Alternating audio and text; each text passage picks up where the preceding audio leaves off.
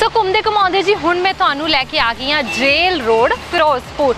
ਮੈਂ ਤੁਹਾਨੂੰ ਲੈ ਕੇ ਆਈ ਹਾਂ ਅਲੀਜ਼ਾ ਹੋਟਲ ਦੇ ਬਾਹਰ। ਅੰਦਰ ਆਪਾਂ ਚੱਲਾਂਗੇ, ਵੇਖਾਂਗੇ ਕਿ ਲੋਕਾਂ ਦੀ ਪਹਿਲੀ ਪਸੰਦ ਕਿਉਂ ਅਲੀਜ਼ਾ ਹੋਟਲ? ਖਾਸੀਅਤ ਕੀ ਹੈ ਇਹਦੀ? ਔਰ ਕੀ ਕੁਝ ਹੈ? ਖਾਸ, ਆਓ ਚੱਲਦੇ ਹਾਂ ਮੇਰੇ ਨਾਲ।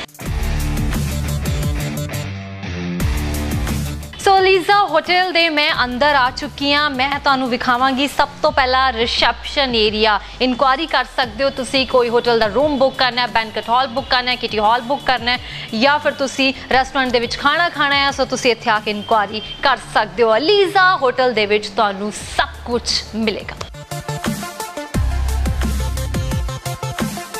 ਸੋ ਇਹ ਜੀ ਅਲੀਜ਼ਾ ਦਾ ਵਾਰਮ ਅਪ ਫੈਮਿਲੀ ਰੈਸਟੋਰੈਂਟ ਜਿੱਥੇ ਕਿ ਤੁਸੀਂ ਆਪਣੀ ਫੈਮਿਲੀ ਦੇ ਨਾਲ ਆ ਸਕਦੇ ਹੋ, ਖਾਣਾ ਇੰਜੋਏ ਕਰ ਸਕਦੇ ਹੋ, ਲਜ਼ੀਜ਼ ਖਾਣਾ ਇੰਜੋਏ ਕਰ ਸਕਦੇ ਹੋ। ਸਪੇਸ ਦੀ ਅਗਰ ਮੈਂ ਗੱਲ ਕਰਾਂ, ਕਾਫੀ ਸਪੇਸ ਹੈ। ਤੁਸੀਂ ਇਹ ਕਿਟੀ ਪਾਰਟੀਆਂ ਅਗਰ ਕੀਤੀ ਹੈ ਨਾ, ਤਾਂ ਤਾਂ ਵੀ ਤੁਸੀਂ ਇਸ ਰੈਸਟੋਰੈਂਟ ਦੇ ਵਿੱਚ ਆ ਕੇ ਖਾਣਾ ਖਾ ਸਕਦੇ ਹੋ ਜਾਂ ਫਿਰ ਫੈਮਿਲੀ ਦੇ ਨਾਲ ਆ ਕੇ ਟੇਬਲ ਬੁੱਕ ਵੀ ਕਰ ਸਕਦੇ ਹੋ। ਸੋ ਅਲੀਜ਼ਾ, ਹੋਟਲ ਦਾ ਇਹ ਤੁਸੀਂ ਕਹਿ ਸਕਦੇ ਹੋ ਵੇਟਿੰਗ ਏਰੀਆ ਬਹੁਤ ਕੰਫਰਟੇਬਲ ਬਹੁਤ ਹੀ ਵਧੀਆ ਔਰ ਡੈਕੋਰੇਸ਼ਨ ਦੀ ਗੱਲ ਕਰਾਂ ਮੈਂ, ਬਹੁਤ ਹੀ ਵਧੀਆ ਡੈਕੋਰੇਸ਼ਨ ਲਾਈਟਸ ਡਿਫਰੈਂਟ ਤਰ੍ਹਾਂ ਦੀਆਂ ਲਾਈਟਸ ਇੱਥੇ ਮਿਲਣਗੀਆਂ, ਤੁਹਾਨੂੰ ਲੱਗੀਆਂ ਹੋਈਆਂ।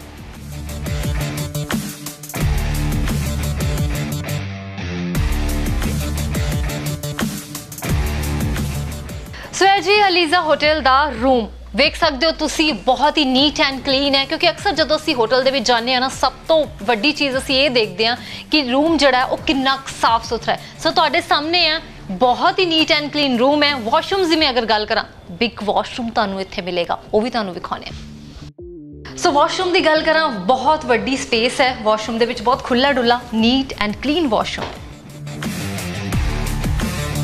so Liza hotel ਦਾ ਇਹ ਹੈ ਜੀ ਕਿਟੀ ਹਾਲ ਔਰ ਬੰਦਿਆਂ ਦੀ ਗੱਲ ਕਰਾਂ ਕਿ ਕਿੰਨੀ ਕੁ ਗੈਦਰਿੰਗ ਇੱਥੇ ਹੋ ਜਾਏਗੀ ਤਾਂ 20 ਬੰਦਿਆਂ ਦੀ ਗੈਦਰਿੰਗ ਇੱਥੇ ਆਰਾਮ ਦੇ ਨਾਲ ਹੋ ਜਾਏਗੀ। ਕਿਟੀ ਪਾਰਟੀ ਹੈ ਅਗਰ ਤੁਹਾਡੀ, ਖਾਸ ਕਰ ਲੇਡੀਜ਼ ਦੀ ਬੜੀ ਕਿਟੀਜ਼ ਪਾਰਟੀ ਹੁੰਦੀ ਹੈ, ਉਹਨਾਂ ਲਈ ਇਹ ਬੈਸਟ ਆਪਸ਼ਨ ਹੈ ਜੀ ਅਲੀਜ਼ਾ ਹੋਟਲ ਦਾ ਕਿਟੀ ਹਾਲ। ਅਲੀਜ਼ਾ ਦਾ ਲਜ਼ੀਜ਼ ਫੂਡ ਤੁਸੀਂ ਇੱਥੇ ਇੰਜੋਏ ਕਰ ਸਕਦੇ ਹੋ।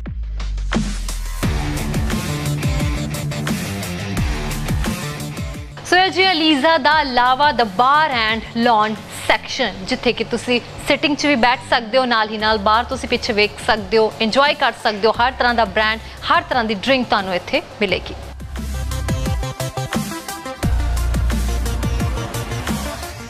ਸੋ ਆਪਣੇ ਓਵਰਆਲ ਐਕਸਪੀਰੀਅੰਸ ਦੀ ਗੱਲ ਕਰਾਂ ਮੈਂ ਅਲੀਜ਼ਾ ਬਾਰੇ, ਤਾਂ ਅਲੀਜ਼ਾ ਬਾਰੇ ਐਕਸਪੀਰੀਅੰਸ ਜਿਹੜਾ ਮੇਰਾ ਬਹੁਤ ਵਧੀਆ ਰਿਹਾ, ਖਾਸ ਕਰ ਫੂਡ ਇਹਨਾਂ ਦਾ ਬਹੁਤ ਹੀ ਯਮੀ ਯਮੀ ਫੂਡ ਲੱਗਿਆ ਮੈਨੂੰ। ਔਰ ਅਗਰ ਤੁਸੀਂ ਵੀ ਇਹੋ ਜਿਹਾ ਲਜ਼ੀਜ਼ ਫੂਡ ਖਾਣਾ ਚਾਹੁੰਦੇ ਹੋ, ਤੇ ਤੁਸੀਂ ਬਿਲਕੁਲ ਨਾ ਜੀ ਭੁੱਲਣਾ ਆਂਦੇ ਜਾਂਦੇ ਜ਼ਰੂਰ, ਇੱਥੋਂ ਦਾ ਫੂਡ ਜ਼ਰੂਰ ਚੱਕ ਕੇ ਜਾਣਾ। ਐਡਰੈਸ ਡਿਸਪਲੇ ਹੋ ਰਿਹਾ ਤੁਹਾਡੀ ਸਕਰੀਨ ਤੇ, ਅਗਰ ਤੁਹਾਨੂੰ ਕਨਫਿਊਜ਼ਨ ਹੈ ਕਿ ਇਹ ਫਿਰੋਜ਼ਪੁਰ ਸ਼ਹਿਰ ਦੇ ਵਿੱਚ ਹੈ ਕਿੱਥੇ? ਐਡਰੈਸ ਡਿਸਪਲੇ ਹੋ ਰਿਹਾ ਫੋਨ ਨੰਬਰ ਵੀ ਡਿਸਪਲੇ ਹੋ ਰਿਹਾ, ਤੁਸੀਂ ਕਾਲ ਵੀ ਕਰ ਸਕਦੇ ਹੋ ਤੇ ਫੂਡ ਇੰਜੋਏ ਕਰ ਸਕਦੇ ਹੋ। ਔਰ ਇੱਕ ਖਾਸ ਗੱਲ ਹੋਰ, ਜਿਹੜੇ ਇੱਥੇ ਦੇ ਲਗਜ਼ਰੀ ਰੂਮ ਹੈ, ਅਗਰ ਤੁਸੀਂ ਉਹ ਵੀ ਇੰਜੋਏ ਕਰਨਾ ਚਾਹੁੰਦੇ ਹੋ ਬੁੱਕ ਕਰਨਾ ਚਾਹੁੰਦੇ ਹੋ, ਤਾਂ ਉਹ ਵੀ ਤੁਸੀਂ ਕਰ ਸਕਦੇ ਹੋ। ਬੈਂਕਟ ਹਾਲ ਦੀ ਗੱਲ ਕਰਾਂ ਬੈਂਕਟ ਹਾਲ ਵੀ ਤੁਸੀਂ ਇੱਥੇ ਬੁੱਕ ਕਰ ਸਕਦੇ ਹੋ।